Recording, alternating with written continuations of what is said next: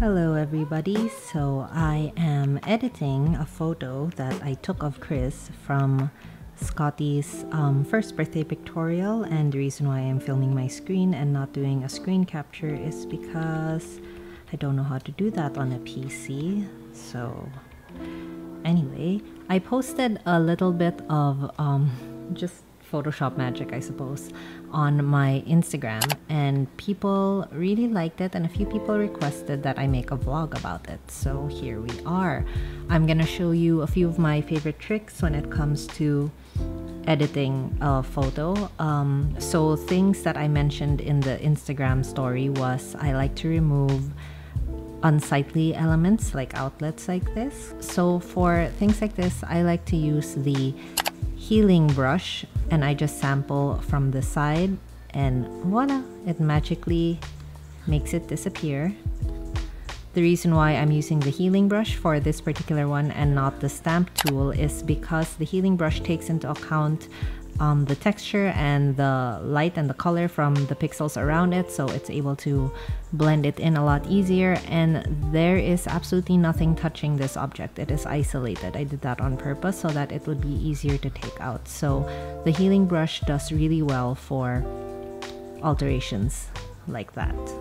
Um, I'm only gonna get rid of anything that's distracting like this you know it doesn't really add to the photo but when it comes to and I'll show you how to get rid of this big one in a bit but when it comes to photoshopping the person itself the only thing I want to get rid of is um, distracting elements and elements that won't be there in a few weeks.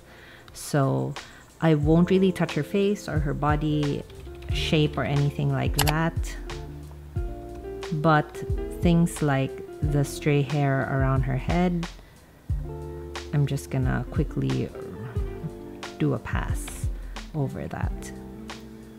Just because if we had a stylist um, in the shoot, then they probably would have cleaned this up for me anyway. And it's just because it was the two of us, it was the end of the day, and we were both tired, so we weren't really thinking about, like, oh, is your hair okay? or anything like that. So I'm just gonna take it out. It's super easy. For this particular one, I am using the stamp tool. I've moved from the healing brush to the stamp tool and I'm using a small brush. This is the disadvantage of using the stamp tool. So if you sample from an area that's brighter than the area that you're trying to copy, it's gonna be very obvious like that versus the healing brush, which will be able to like see that the area around here is not as bright, but um, I'm using the stamp tool because it is too close to her face. So it's it's a little thing, like it's a super little adjust adjustment, but I think it makes a difference. So we're just gonna leave it. I do see that there's a dark spot here. I'll fix that first. So things like this where I could try to sample it from somewhere else, but I don't want to. So I'm just going to add a curves adjustment layer, clip it, that's what this button is, onto the layer underneath it. So it will only affect that layer. And like I said, this is too dark. So what we're going to do is we're gonna use this so I know exactly where it is and it's gonna drop a point. This is the part of the curve where that is and then I'm just gonna use my arrow keys to pop pop pop push that up and because it's affecting the entire layer so it you can see it's blending here sure but it's also making all of this that we worked on too bright. So now I'm going to hit um, control I which will invert that entire layer and basically hide everything that we've just done. Then I'm gonna get my brush tool and paint with white because white will show what you've done and black will hide it. And then just very lightly paint over this area and then zoom out and now you can't see it. So here it is without the curves adjustment. You, you can't see it's too small. Wait. Okay here we go. Let's move. I mean it's fine. It could be like some weird shadow you know but i know it's there so i took it out and here it is without. Can you see that? I hope you can see that. All right um now let's tackle this big mirror on the side what I'm doing here is every time I make a change, I like to add it onto a new layer. If I was being smarter, I would label each individual layer so I could find it later, but I'm not going to do that because the tripod is in front of the um, keyboard. So, okay, so what I did was I just stamped everything that was visible into a new layer so that I can then take my lasso tool. I'm using the polygonal lasso tool. All right, let's preserve this and then just go around this area. So the reason why I'm using the polygonal lasso tool is because it's a lot faster in this case and this is like an object that has defined shapes so it's easier to do that. So I'm just gonna circle around that area, basically select it, then I'm gonna go to is it edit? Yes, it's edit and then go down to content aware fill and Photoshop will do this magic thing where it will compute for me the areas and basically do the retouch for me. So as you can see, it's not great, but taking it out manually would be a lot more difficult than just like editing this little like oh this is too bright and this is kind of blurry and weird like that that would be a lot easier for me to deal with than taking everything out so what it's doing is the green highlighted areas it's saying that oh these are the areas that you want me to look at and take this green highlight thing and put it here, right? So it's studying that. And um, we can try to make this a little bit better by like going over like, oh no, I don't want you to sample from her body. Like I don't want you to clone or um, whatever it is the machine is doing. So I'm just gonna delete her from the highlight. And then as you can see, when I do that, and then when I'm done editing the mask here, it's gonna update.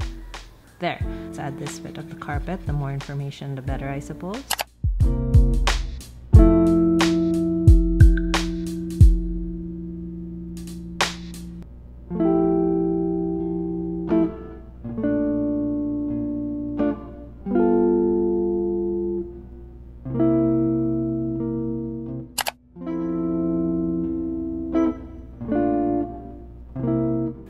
Feel like that's the best that we're to be able to do you just press ok it will put it in a new layer up here and since I just stamped everything that was visible, this layer is actually useless. I just needed that so it would know what to sample from. So I'm gonna delete that and this is now our wall and that looks horrible, but that's fine. We can fix that. So I'm gonna add a new layer on top of that. All right, so I'm just gonna take like the roughed edges. So the reason why this is standing out so much is because uh, this is a shadowy area.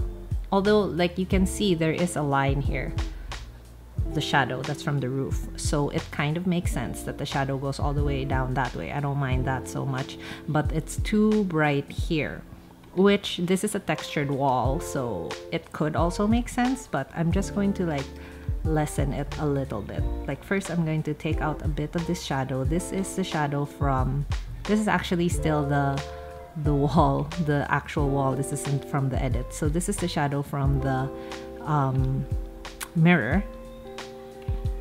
So I'm just gonna blend that out a little bit. I'm just using the healing brush and just basically sort of sampling from around it so it blends in a little better um, this one also like I just find this line is a little too jagged.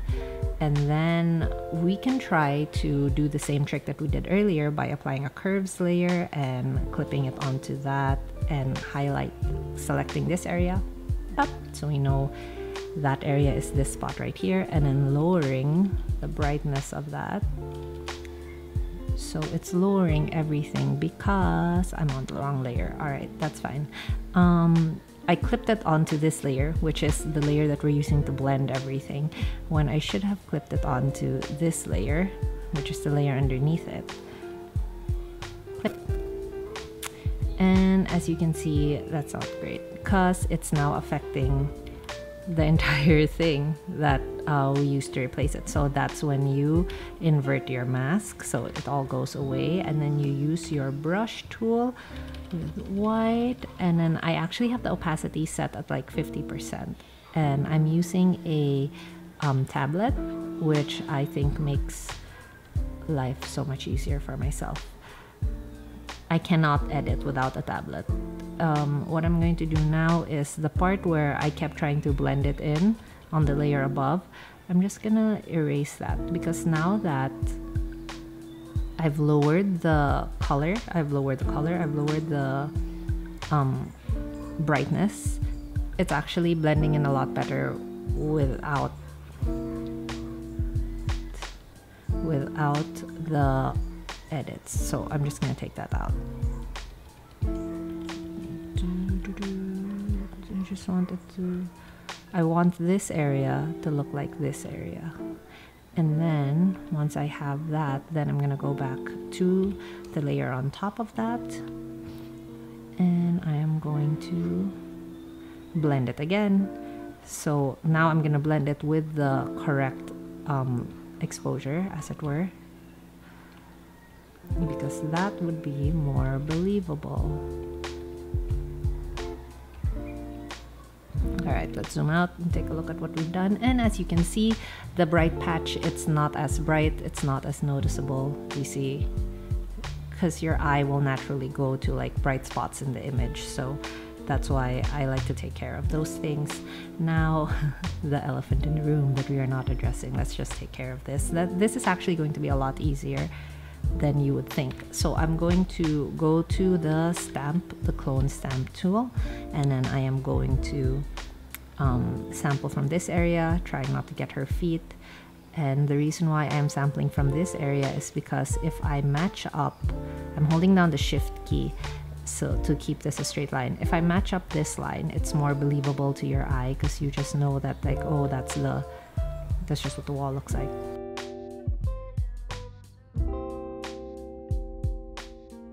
Make this smaller and then just kind of like blend in this area.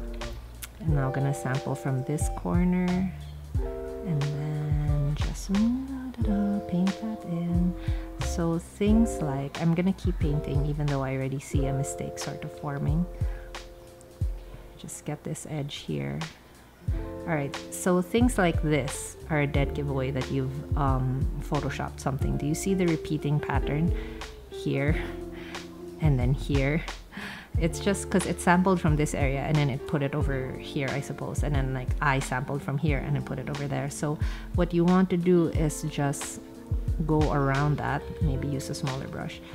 Go around that and just erase any discernible marks like this because that makes it so obvious. So you just want to take that out.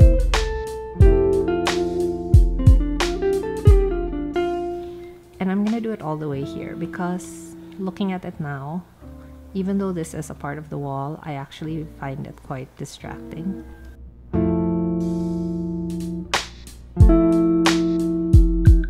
I mean not bad right? I, we're it's super lucky for this particular edit because um, the wall here is very textured. So I can't it's gonna be really hard to mess it up um, another favorite tool that I have is the fade tool, which I use a lot. So say I want, I'm, this dark spot is kind of bothering me. So I'm going to sample from the area next to it and then I'm just gonna paint it on. And as you can see, it's not blending super great. So if you hit um, Control Shift F or find fade somewhere here, I don't know where, then it will just fade the very last thing that you did so you you do like you paint something or you clone something and don't touch anything else. You go straight for the fade. And then it will just fade that in the last thing that you did and just makes it a little bit more natural. And let's see. Okay now i got to take care of the carpet. Uh, let's do the carpet on a separate layer and then if i don't make any mistakes then i'll just merge it down.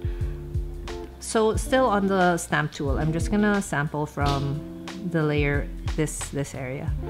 And then um, things that I'm looking at when I'm sampling at this point is uh, the grain of the carpet. As you can see it does have a pattern that's going this way. So if I sampled from here excuse me Whew, I don't have COVID I just choked. All right so um, paint paint paint paint away our problems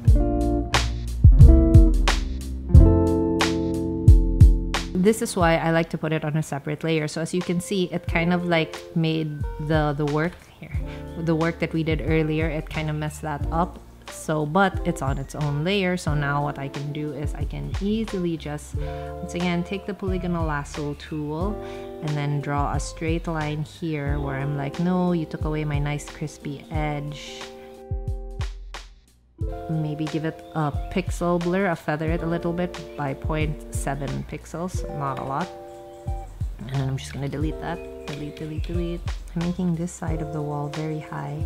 So this is the advantage of putting it on another layer. Now I can just control T, transform it, press the control button while I drag this down, back down to where I want it to be. There, and just kind of transform it that way. Alright, let's see what that looks like. I don't think it looks great. Oh, you know what? It's not half bad. So let's merge that and merge that. And I think I'm done with the carpet. So merge that. So I guess that's pretty much it. That's everything I would do. Let's take a look at our complete before. So this is what it looked like before. And then the first thing that we did was we used the healing brush to take out the outlets. Then we kind of fixed the stray hairs around her head, which created a dark spot so we lightened the dark spot. Then we took out the mirror poorly and then we um, fixed any exposure problems from the thing that we took out. Then we blended everything in and voila, there's your finished image. Finished. There's your finished image. All right. Okay, I'm back because I still have a few more of these photos to edit and we took a bit of time to fix this. So I'll I wanted to show you like a quicker way to do it. Um, so this is another image that's very similar, the same shot, same everything, you know, um, just a slightly different pose. So I wanted to give her variety, so I'll edit this as well. I'm gonna take this image, open it up in Photoshop, and then I'm going to take the image that we just edited and then open that back up in Photoshop as well. Edit the original because I added a sharpening, uh, brightening layer on top. So the color's not gonna be the same. So what I'm going to do is I'm going to take this layer minus the the bright brightening that I did. So the light is a match. Then I'm going to stamp it once again stamp everything that's visible. That's going to be control shift alt E on your keyboard. It's basically falling on the whole left side of your keyboard. And then drag that over here. Let's close this. No I don't want to save any of those changes I'm gonna lower the opacity of this one and make sure that um, things are more or less lined up. Set my opacity back to 100. Press Alt while you press your mask tool.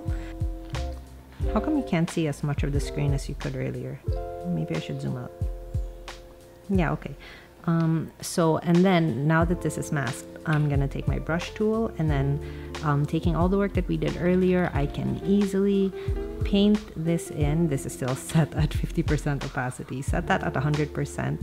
Then you can just boop, boop, boop, boop, boop, boop. And paint that in. So the nice thing about it is you do all the hard work once and then you don't have to worry about it anymore. Even the outlets, like I can just go back and paint that in. Oh, that didn't do such a great job. I'll fix that one manually. that didn't do such a great job because I'm too close to Chris. All right, so now instead of having to redo all of that, all I have to do is, well, I'll come back and fix her stray hairs. Oh, I didn't notice this earlier. There's some dirt on the wall. I just have to get rid of those and then just remove this outlet because this was too close I guess or Uh, I don't know why it's not working out but it's like a lot less work than I had to do earlier. So ta-da! That's like three minutes versus the 20 minutes that the first one took